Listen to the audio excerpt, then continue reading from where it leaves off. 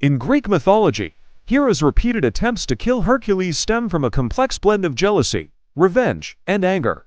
Here are the main reasons infidelity of Zeus. Hercules was the son of Zeus and a mortal woman, Alcmene.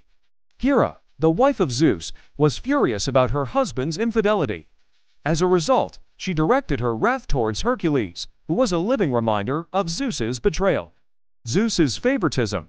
Zeus was particularly fond of Hercules, often intervening to protect and assist him. This favoritism intensified Hera's hatred, as she resented any child born from Zeus's extramarital affairs being given special treatment. Hercules' potential threat. Hercules, whose name means glory of Hera ironically, was destined for greatness and was seen as a powerful figure. Hera might have viewed him as a threat to her own children and their potential to gain power and influence. Symbolic revenge. By making Hercules suffer, Hera could indirectly hurt Zeus. Inflicting pain on Hercules was a way for her two retaliate against Zeus's numerous infidelities. Hera's attempts to kill or sabotage Hercules included sending to serpents to kill him in his cradle, driving him to madness which led him to kill his own family, and setting many of his labors, hoping they would result in his death.